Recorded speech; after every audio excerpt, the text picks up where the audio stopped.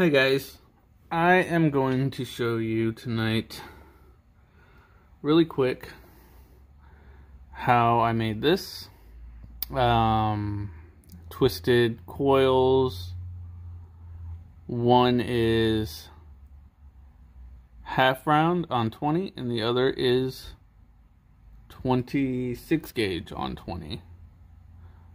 And then we're going to twist it up and I'm just going to show you real quick how I did it. So I already have two 20 gauge pieces cut out. Uh, this is going to be a small piece just to show how to do it. Um, okay, so I have the 20 gauge set up on my drill and on my swivel. And I have a little bit um, of the 26 gauge coiled already. So I'm just going to coil a little more and I'm not going to make it too long. So just get a little bit more on there.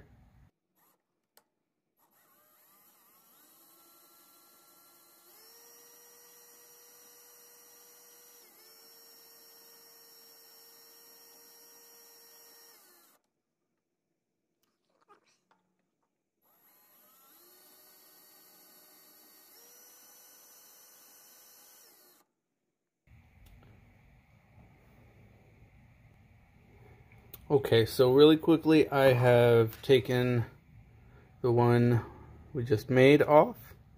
Um, I got a Sharpie. I have the other piece of 20 gauge. And what I'm going to do, because I want these to be roughly the same size, and if they're not afterwards, I can fix it up a little bit. But I'm going to come in, and I'm going to mark right over, right where I want to cover over.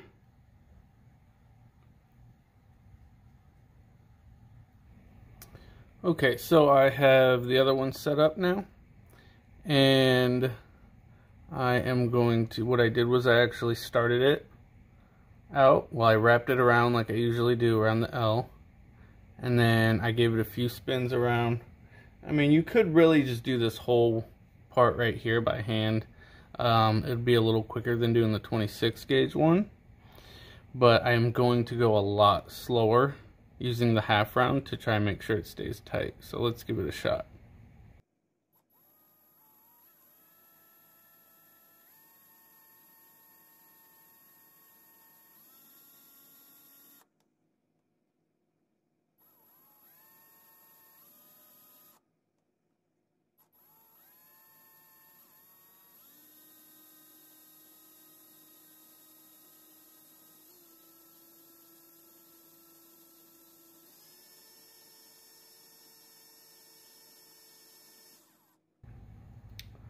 Okay, so, and you probably noticed this time, unlike the other wire, I'm actually holding my finger up against it, and I'm pressing in with my nail right here, so that it's not, it's giving it, it tension as it winds onto the core, but it's also, I'm not out here pulling on it.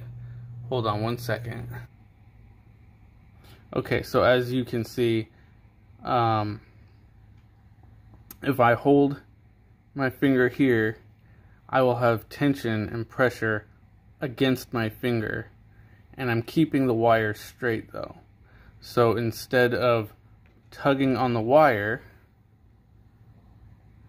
from down here, you see that's going to put tension on the line. It's going to drag it down. That's what I don't want to do.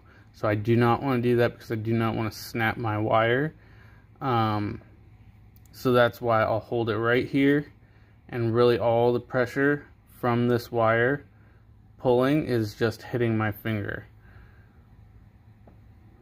So, see.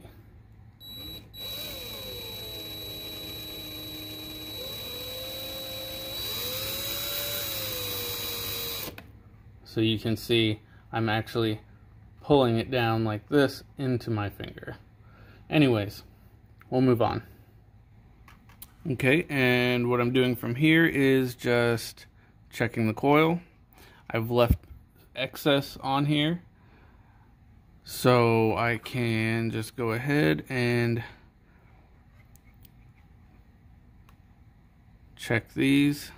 Okay, yeah, I went a little further doing that example. So what do I want about right there?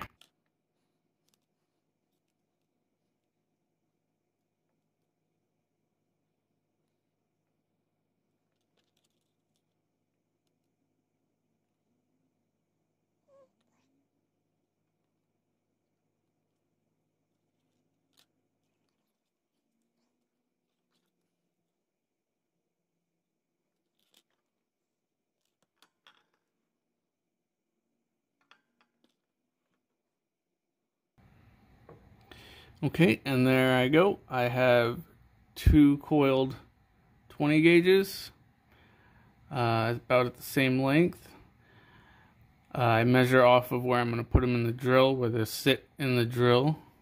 When I set them in there, that they'll be the same length in there. So we have the half round 22 gauge and the 26 gauge. Now what I'm going to do is I'm going to set these in the drill and we're going to twist these up. Okay, so you can see I've got these both in. I do not need them in a swivel this time. They're going to hang loose. So I'm going to go ahead and twist it. And I am going to start with these really beat up nylon pliers. And now I'm going to start with these pliers and I want to start with these pliers because it's going to give me some slack. It's not going to put too much strain on the wire. You'll notice this will probably start to slide a little. And then I'll tighten it up with some regular pliers.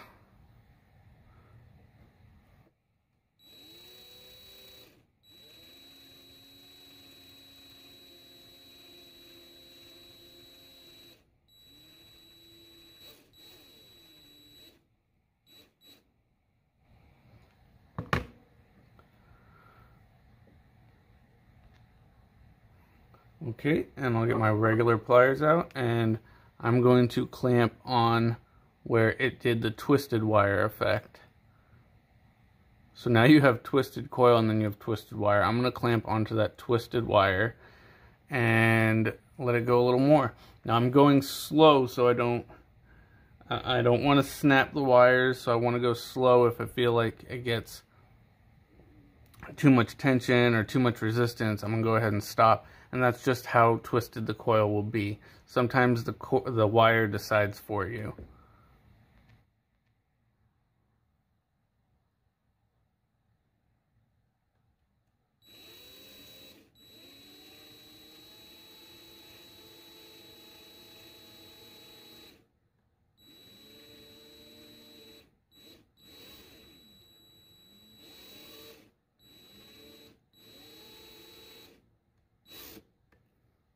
So that's what we got. Um, this may or may not be tighter than the one I did.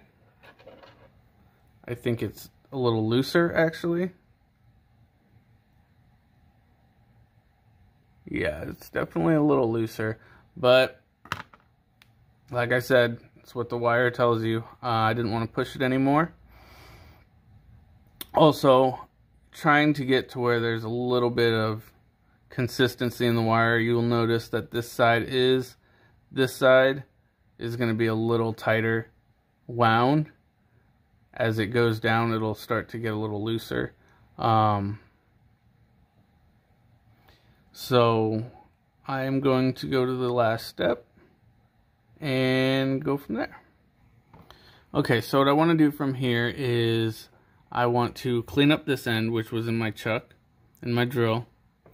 And then I'm going to do some adjustment on this side because I want to make this wire able to be set as an attachment. So first I'm going to start with cleaning up this end.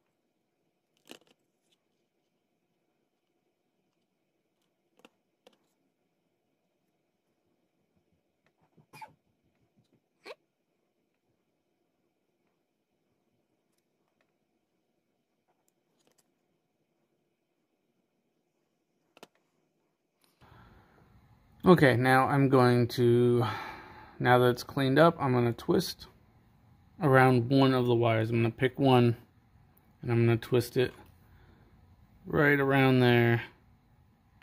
Probably just till it meets up once. Maybe a little difficult because your wire will be work hardened now from spinning in the drill.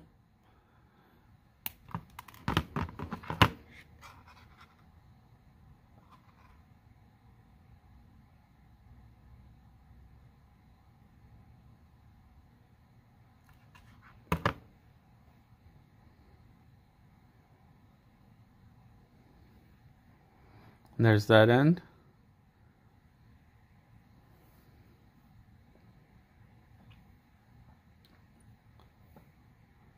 Now for this end.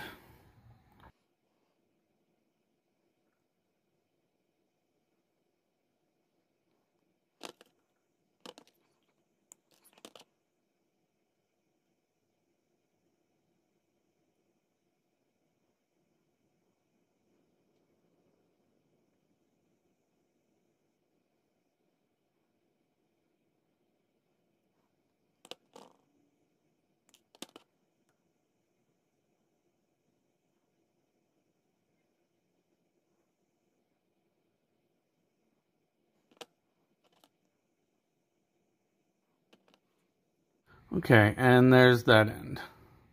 So I'm going to leave some excess here. I don't know what project this is going to be for. I have enough on this end to tie off onto a frame. I have enough on this end. Now the last part is going to be the 24 gauge.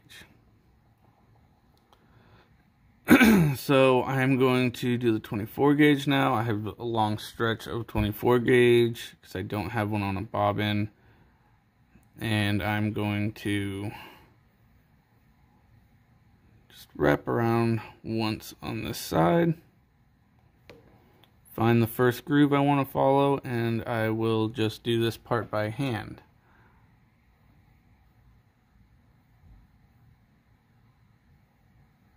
It's not going to take very long at all. Just twisting it as I go into that crease.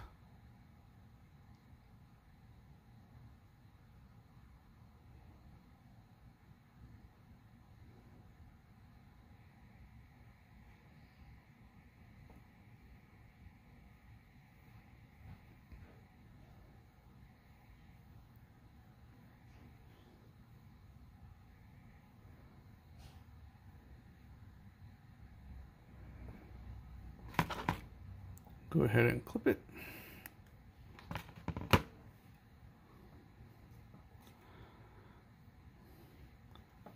And I'm going to clean this one up before I do the next one. It's got that one loop around.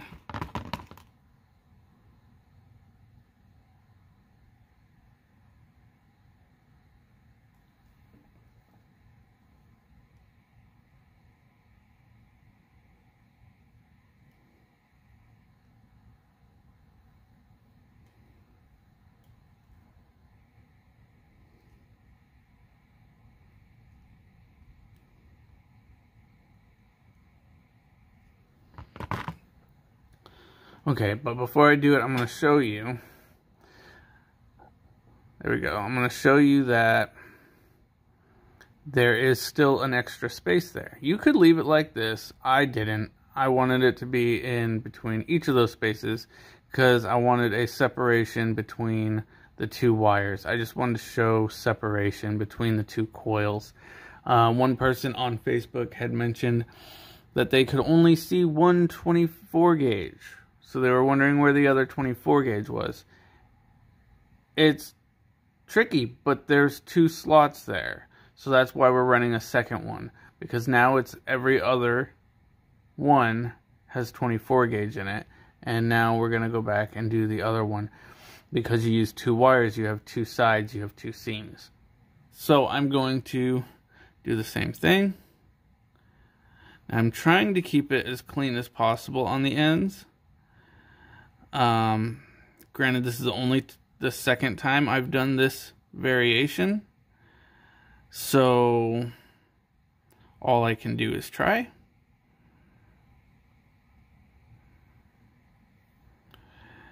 And I want to spin, I want to get to this right here. So do the same thing and just spin it up. I am trying to make this video a little shorter, you guys. The whole reason I'm doing this and not another like pendant tutorial, walkthrough, what have you. Like I said, I plan on it. Um, it's been really crazy over here. Doing a lot of work on the house, got a lot of work in general. And I just haven't had the time. It takes quite a bit of time to sit down and do the wrap, to talk, to explain it. Just doing the wrap in and of itself is one thing, but explaining, I'll I'll do a one hour wrap. It'll take me at least two hours, um, and then there's editing and everything that goes along with it. I also record on my phone and after I'm done recording on my phone, what I'll do is I will upload it to my computer so that I can upload it to the internet via landline to try and make sure that the quality, even though my phone is out of focus like right now all the time, the quality is as good as it can be. So it takes a lot. So the only reason I'm doing this and not another full pendant is because I've been super busy. I plan on it still. Maybe this weekend I can. But this I figured would be a little bit shorter. And it's turned out to be shorter, but still taking some time. So I'm just cleaning up this other end right here. And you may notice I'm going to show you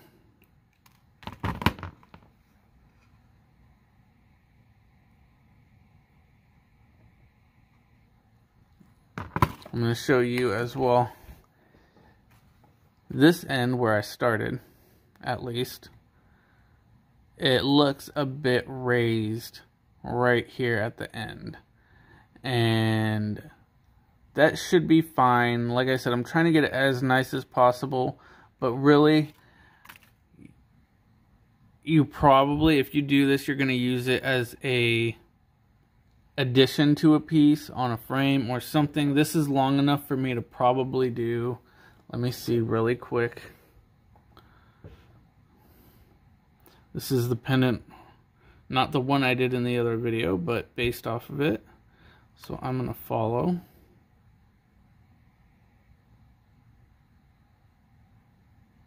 So it goes to right about there. And then I could curl back over the top. I could probably do one of these with this length and use this instead of that coil. Which I may try and do, especially if the, the pendant all in all is a little bit shorter. I could probably do one of these with it. um, it would probably just be to where the coil stops somewhere around here. And then goes down a little bit and ties off on the bail. Um, so it really depends. You can do them shorter. I was going to do it really short, um, but I wanted to make sure that spending the time doing this video that it was long enough for you to really see all the detail to it. So that's it. Um, comparing the two, the one I originally had was a little bit tighter wound. It was twisted a little tighter. And as a result from that, you can see some people were saying it looked like beadwork, the half round. What it did was it, it put so much pressure on the line and squeezed it together so much that it started to bunch up and almost separate a little bit because I stopped before that happened on the other one, it still looks like just a, a half round wire on 20 gauge. So anyways, thank you for watching. Um, I hope this helps some people, some people that wanted to know how to do it. Um, I really appreciate all the kind comments. Um, some most only the first tutorial was actually a full wrap. So I know there's a lot of people that have watched some of these videos that a lot of people have been very kind. I appreciate it, and I'm sure there are some people that are like, "I know this. This is this is old news," and I appreciate that everyone's been really kind. This community seems to be for the most part. So you can check out this new style I've been working on. Um, seen a few people doing ones like these, and I've been having a lot of fun with them. So I thought I'd throw this in at the end uh, let me know, first of all, if you think they're any good, and if you do, if you'd be interested in wanting to see how I did any of these. Um, it's it is it's actually quite fun. It can be a little frustrating, especially if you're trying to keep symmetry, but all in all, it's actually pretty fun. So, like I said, guys, I appreciate you. Appreciate all of you. Thank you for being such a great community, and that's why I'm doing what I'm doing. I just want to help and add to the positivity. So here's this. Take this. Go put it on a piece. Go have fun. And I will see you guys next time.